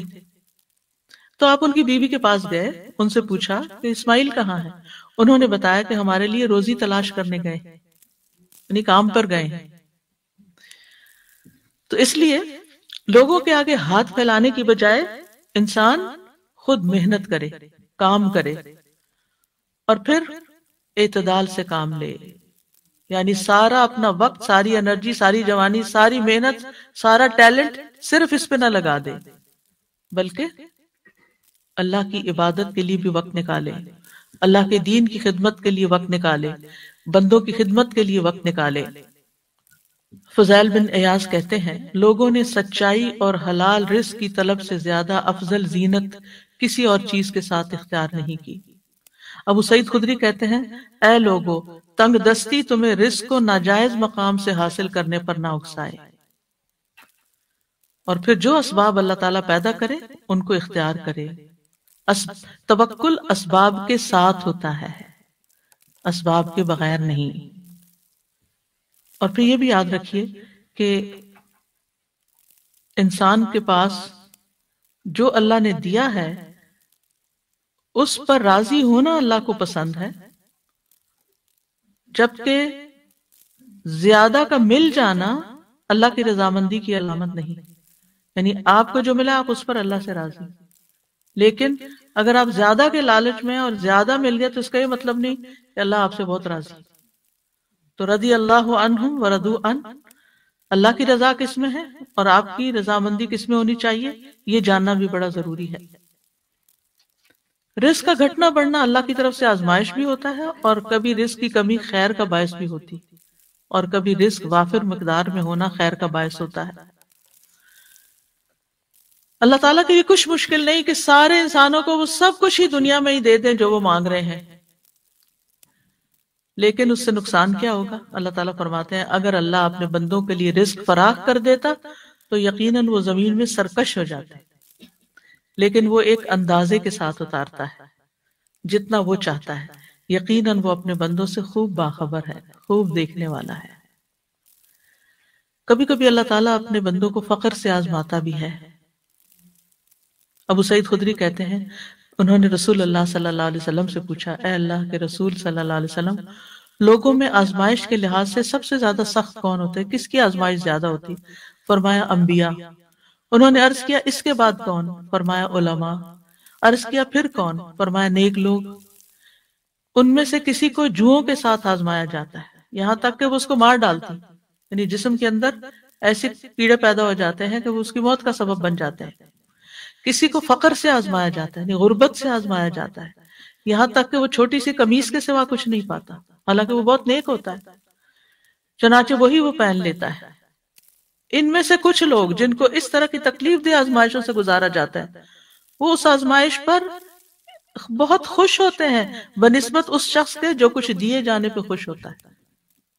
क्यों खुश होता आजमाइश आ गई अल्लाह की तरफ़ से, जैसे अयूब सलाम पे आई थी। तो अल्लाह से नाराज़ नहीं थे। वो कहते थे अल्लाह, पहले मेरे बीवी बच्चे भी थे और मेरे माल असबाब भी थे उनके लिए मुझे वक्त निकालना पड़ता था। अब तो सारे जब मेरे पास कुछ नहीं रहा तो मेरा सारा वक्त तेरे लिए हो गया। अब तो सिर्फ़ मैं और तू है। तो वो इस पर ज़्यादा खुश थे। हालाँकि बहुत तकलीफ़ में थे। तो कुछ लोग तकलीफ़ आने पर भी अल्लाह से बड़े राज़ी होते हैं और खुश रहते हैं। नबी सल्लल्लाहु अलैहि वसल्लम को आप देखें, अल्लाह ताला के पसंदीदा तरीन बंदे थे, लेकिन अक्सर वक्त फाकों में गुजरता था। एक साहबी कहते हैं, मैंने रसूल अल्लाह सल्लल्लाहु अलैहि वसल्लम को देखा, आप सारा दिन भूख की वजह से बेकरार रहते थे। यानी बाजुकत ऐसे दिन भी आते थे। खराब खजूर तक ना पाते थे जिससे आप पेट भर लें। हज़रत आशा कहती हैं, मोहम्मद सल्लल्लाहु अलैहि वसल्लम के घराने ने अगर कभी एक दिन में दो बार खाया तो उसमें से एक वक्त सिर्फ़ खजूरें होती थी। पका हुआ खाना नहीं होता था। यानी वन मील अ डे होता था। तो बहरहाल, ये तो अल्लाह का फैसला है, जिसको जितना चाहे दे और जिसका जब चाहे अपनी हिकमत के तहत कम कर दे। लेकिन आज चूँकि हमारा मौजूद रिस्क में कुशादगी की दुआएँ हैं तो हम मुख्तसरन देख लेते हैं कि दुआओं के अलावा वो कौन से असबाब हैं जो रिस्क बढ़ाने का सबब बनते हैं, जिनसे रिस्क में इजाफा होता है। तो सबसे पहली चीज़ है ईमान और तकवा इख्तियार करना। ईमान और तकवा। सूरत अल्लाह में अल्लाह फरमाते हैं, वलौ अन्न अहलल कुरा आमनु वत्तकौ, लफतहना अलैहिम बरकातिम मिनस समाई वल अर्द, वलाकिन कज़्ज़बू बिमा कानू यक्सिबून। और अगर वाकई बस्तियों वाले ईमान ले आते और बचकर चलते, तकवा इख्तियार करते तो हम ज़रूर इन पर आसमान और ज़मीन से बहुत सी बरकतें खोल देते। लेकिन उन्होंने झुटलाया तो हमने उन्हें इसकी वजह से पकड़ लिया जो वो कमाया करते थे। तो ईमान और तकवा से रिस्क आता है। फिर ईमान और अमल साले नेक अमाल करने वाले के लिए भी रिस्क का वादा है। सईद बिन मंसूर से मरवी है, वो इब्ने अब्बास से रिवायत करते हैं कि उनसे इस आयत के बारे में पूछा गया, मन अमिला मिन मन अमिला सालिहन मिन व हुवा मुमिनुन, फलनुहयिन्नहु हयातन तय्यबा। जो भी नेक अमल करे, मर्द हो या औरत और मोमिन हो तो हम उसे ज़रूर पाकिजा ज़िंदगी बसर करेंगे। तो इसका मतलब क्या है? उन्होंने कहा, हयातन तय्यबा का माना हलाल रिस्क, यानी उसको हलाल रिस्क अता करेंगे। और आखिरत में जब अल्लाह के पास जाएगा, वाला नजियान्ना हूँ तो अपने अमाल का बेहतरीन बदला पाएगा। फिर आप देखिए कि दूसरी चीज़ यह है, यानी ईमान, तकवा और अमल साले के बाद अगली चीज़ यह है कि इंसान अपने फराइज को अदा करे। कुरान मजीद में आता है तिजारत वो मर्द जिन्हें अल्लाह के ज़िक्र से और नमाज़ कायम करने और जक़ात देने से ना कोई तिजारत गाफिल करती है, ना कोई खरीदो फरोख्त। वो उस दिन से डरते हैं जिसमें दिल और आँखें उलट जाएँगी। ताकि अल्लाह उन्हें उसका बेहतरीन बदला दे जो उन्होंने किया और उन्हें अपने फजल से ज़्यादा दे और अल्लाह जिसे चाहता बेहिसाब रिस्क देता है। तो इससे क्या पता चलता है कि चाहे आप बिज़नेस करते हैं जॉब करते हैं, जब नमाज़ का वक्त आ जाए तो आपको नमाज़ के लिए उठ जाना चाहिए। फिर अल्लाह की इतात के काम। अब्दुल्ला बिन मसूद से रिवायत है, वो कहते हैं रसूल अल्लाह सल्लल्लाहु अलैहि वसल्लम ने फरमाया, कोई जान अपने रिस्क की तकमील के बगैर नहीं मरती। बस तुम अल्लाह से डरो और रिस्क की तलाश में म्याना रवि इख्तियार करो। कहीं ऐसा ना हो कि रिस्क का मुखर होना, डिले होना, तुम्हें इस बात पे उकसा दे कि तुम अल्लाह की नाफरमानियाँ करके उसकी तलाश में पड़ जाओ। याद रखो, जो कुछ अल्लाह के पास है, वो उसकी इतात करके ही हासिल किया जा सकता है। इब्न कय्यम कहते हैं, जैसे अल्लाह का तकवा इख्तियार करना रिस्क के हसूल का बायस है इसी तरह तकवा छोड़ देना फक्र फाका का बायस भी बन जाता है। इसी तरह नाफरमानियों को छोड़ना रिस्क में इजाफे का बायस बन जाता है। फिर है शुक्रगुजार बनना, जो है उस पर शुक्र गुजार रहे। कनात करें और शुक्र करें। अल्लाह ताला का वादा है ल इन शकर तुम ल अजीद अगर तुमने शुक्र किया तो मैं तुम्हें और ज़्यादा नेमत दूँगा। फिर है तोबा इस्तफार करना। तौबा इस्तफार नू सलाम ने अपनी कौम को बताया था फकुल तुस्तगफिरू रब्बकुम, इन्नहु कान समा अलैकुम मिदरारा, व युमदिदकुम व बनीन, व यजअल लकुम व यजअल लकुम अनहारा। मैंने कहा, अपने रब से माफ़ी मांग लो, इस्तगफार करो। यकीनन वो हमेशा से बहुत माफ़ करने वाला है। वो तुम पर बहुत बरसती हुई बारिश भेजेगा। और वो मालों और बेटों के साथ तुम्हारी मदद करेगा। तुम्हें बागात अता करेगा, तुम्हारे लिए नहरें जारी कर देगा। यानी दुनिया के ये सारे खुशगवार सामान्य ज़िंदगी तुम्हें अता करेगा अगर तुम इस्तफार करते रहे। यानी गुनाहों की माफ़ी मांगते रहो तो अल्लाह सुबहान ताला दुनिया में भी ये नेमतें तुम्हें अता करेगा। इसी तरह, हुद सलाम ने कहा था वयाकुम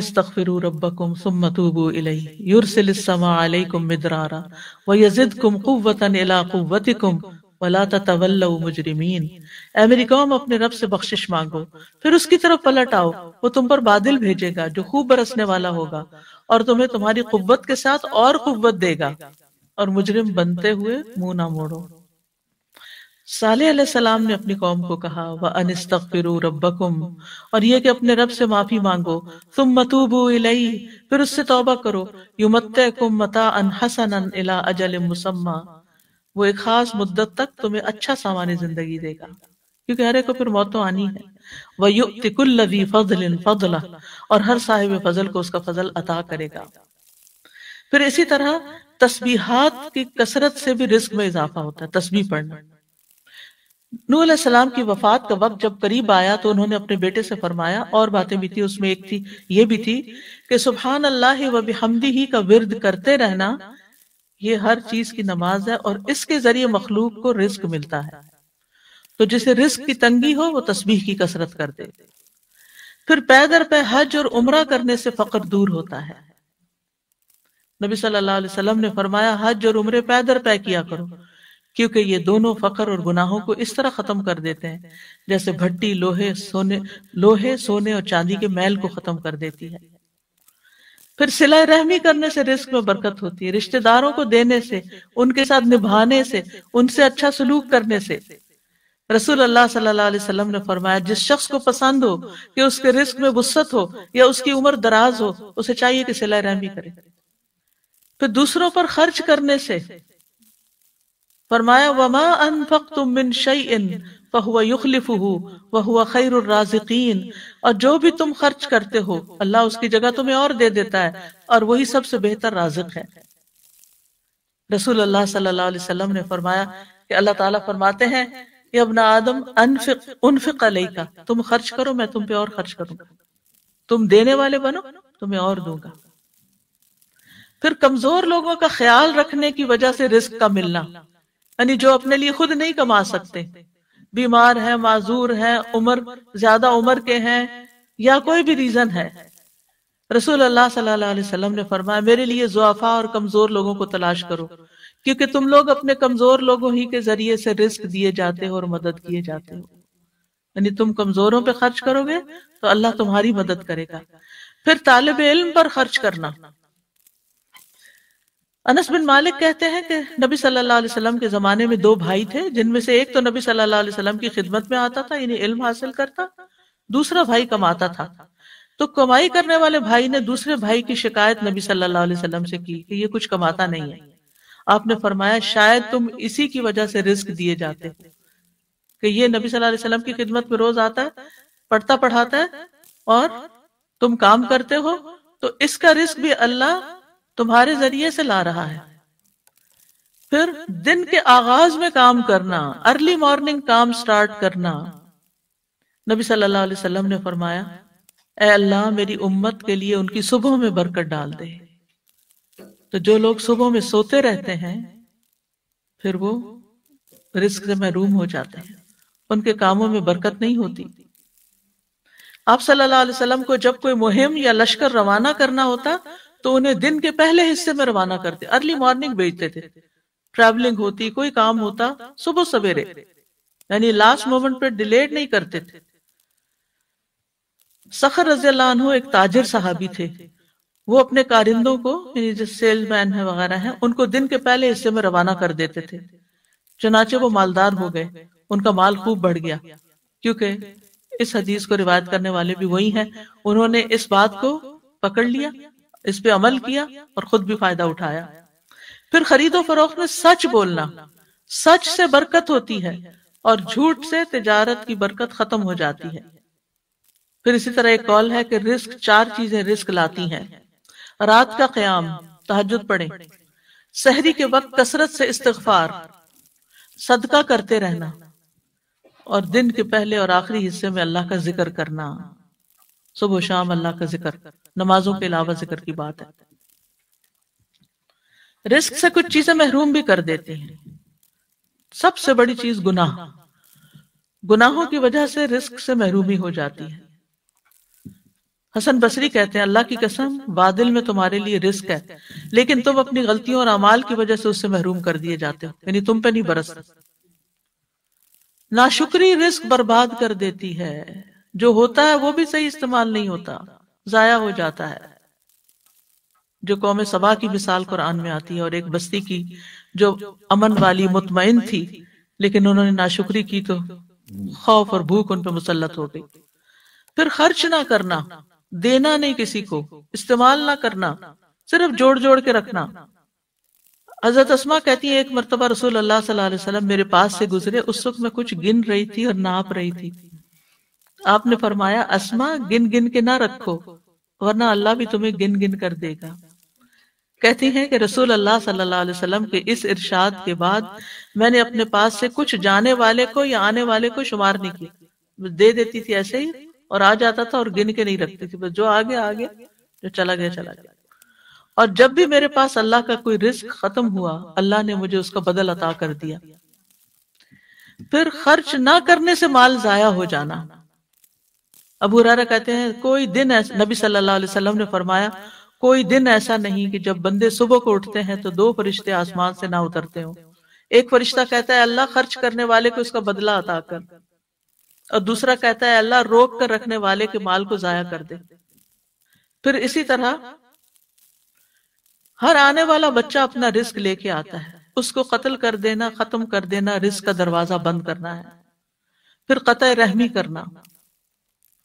रसूल अल्लाह सल्लल्लाहु अलैहि वसल्लम ने फरमाया, जिस नेकी का अजर बहुत जल्दी मिलता है, वो सिला रहमी है। यहाँ तक कि कुछ घरानों के लोग फाजिर फासिक होते हैं, लेकिन जब वो सिला रहमी करते हैं तो उनके माल बढ़ जाते हैं, उनके अफराद बढ़ जाते हैं। फिर इसी तरह लोगों से मांगना।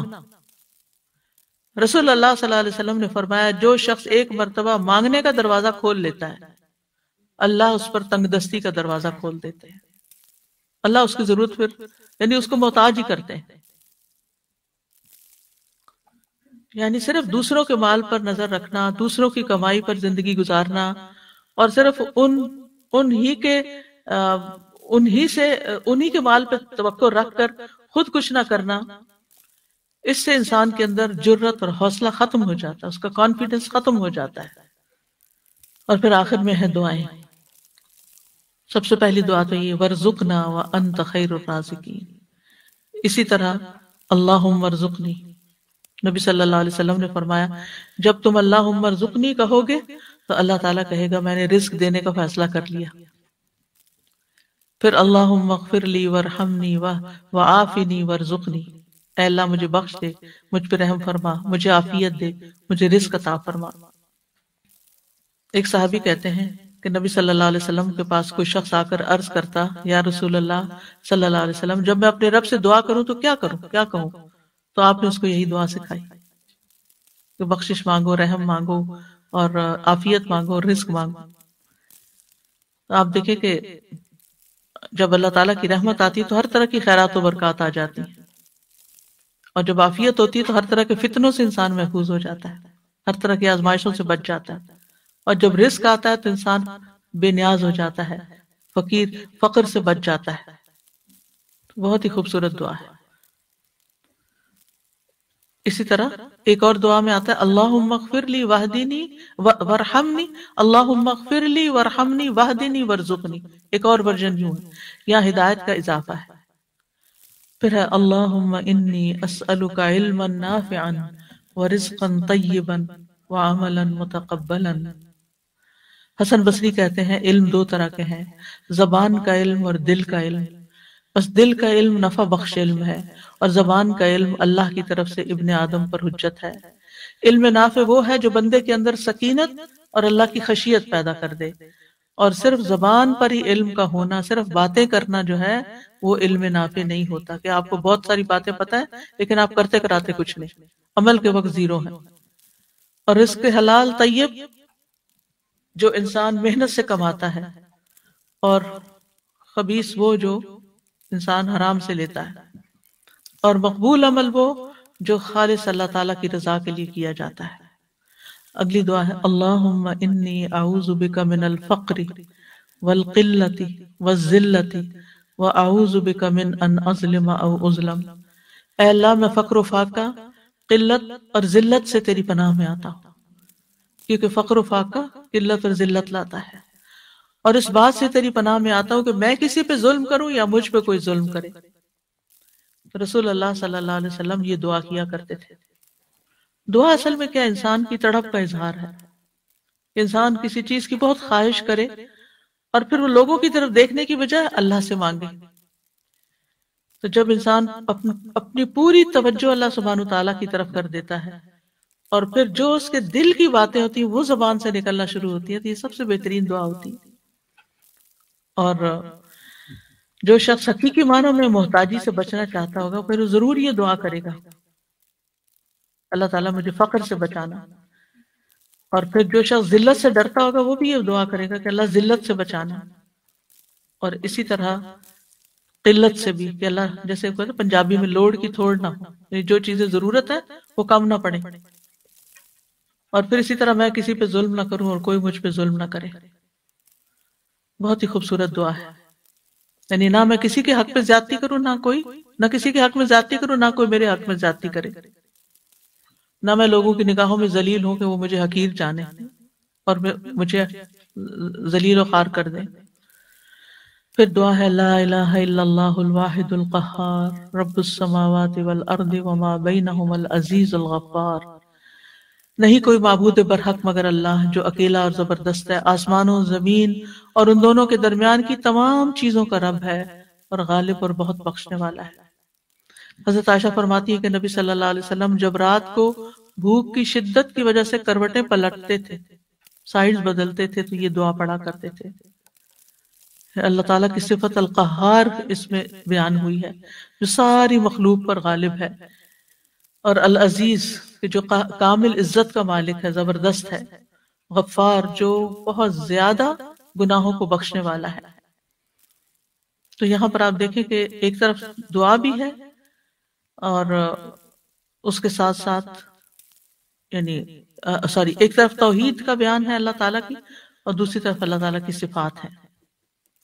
फिर है अल्लाह मकफिनी बेहलाल का अन हराम का व अगनी बेफदल का अमन सिवा का अल्लाह, अपने हलाल के ज़रिए हराम से मेरी किफायत फरमा और अपनी मेहरबानी से मुझे अपने अलावा हर एक से बेनियाज कर दे।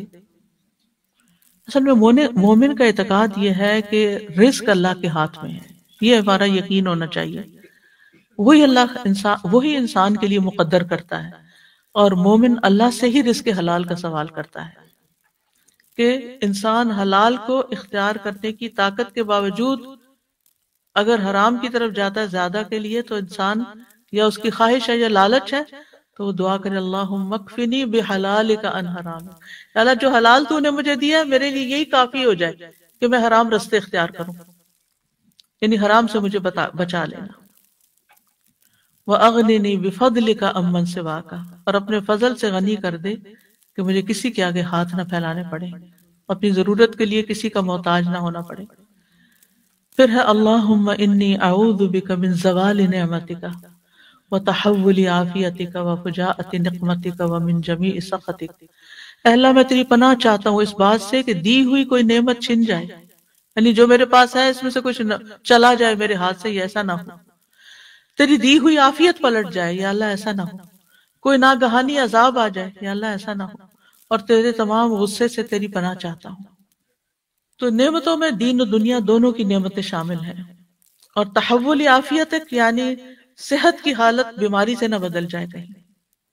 और फुजात नकमत अल्लाह ताला अचानक तेरी पकड़ना आ जाए कहीं।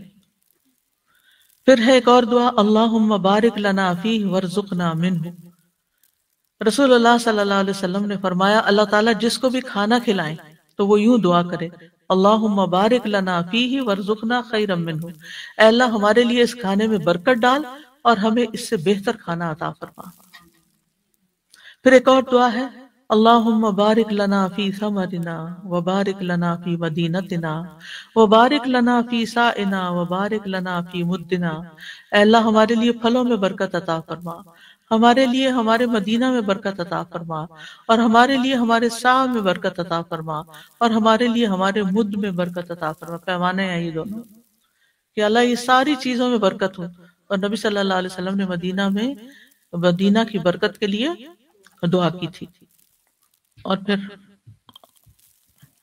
आखिर में, अल्लाहुम्मा इन्नी अऊज़ु बिका मिन ज़वाल सॉरी, अल्लाहुम्मा लकल कुल्लु अल्लाहुम्मा ला काबिज़ लिमा बसत्ता, वला मुकर्रिब लिमा बाअत्ता, वला मुबाइद लिमा कर्रबता, वला मोतिया लिमा मनाता, वला मानिया लिमा आतईता अल्लाहुम्मा बसुत अलैना मिन बरकातिका व रहमतिका व फदलिक व रिज़्क़िक।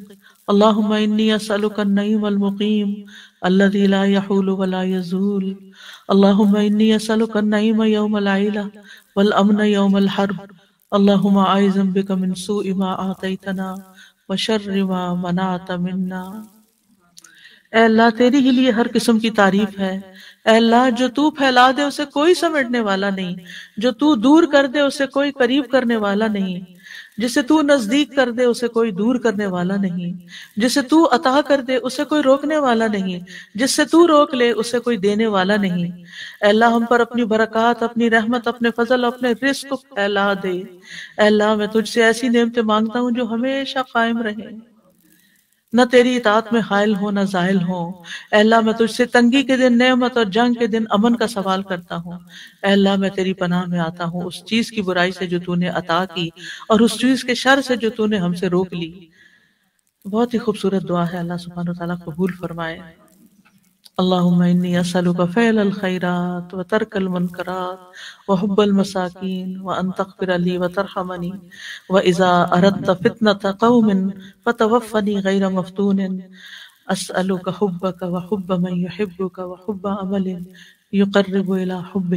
अल्लाह रिस्क के साथ मोहब्बतों का रिस्क भी अता फरमा व आखिर दावाना आज के लिए ये दुआएँ जो हैं इस पम्फलेट में भी है। रिस्क में कुशादगी की दुआएँ। आप अगर अपना एक छोटी सी बास्केट बना लेना तो सारे कार्ड्स उसमें रख दिया करें। बस, और अगर हो सके तो नमाज़ की जगह के करीब एक नमाज़ के बाद एक उठाया, सारे ज़िक्र कर लिए। दूसरे के बाद दूसरा उठाया, तीसरे के बाद तीसरा उठाया, चौथे के बाद चौथा। या कोई भी और अपना आपका जो फारिग वक्त जिसे कहते हैं ना, हॉबी, आपकी कोई हॉबी टाइम तो वो दुआ बना लें अपनी, कि आप दुआ वाली टेबल के पास बैठ जाए और कोई ना कोई चीज़ उठा के अल्लाह से मांगना शुरू कर दें। इनशाला अल्लाह ताला ज़रूर सुनेगा। दुआओं से दुनिया और आखिरत दोनों की खैर आती है। अल्लाह ताला से हम हर तरह की खैर मांगते हैं। व आखिर दावाना अल्हम्दुलिल्लाह रब्बिल आलमीन। सुब्हानक अल्लाहुम्मा व बिहम्दिका। अशहदु अल्ला इलाहा इल्ला अंता।